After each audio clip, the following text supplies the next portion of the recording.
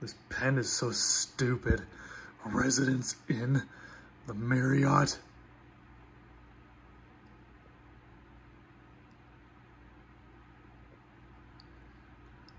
Why would they just give away pens like that?